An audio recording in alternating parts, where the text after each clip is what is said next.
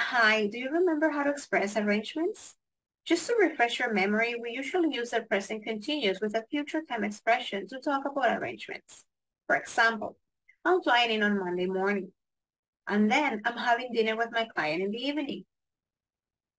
So now that we have recalled how to make future arrangements, let's work on the following exercises.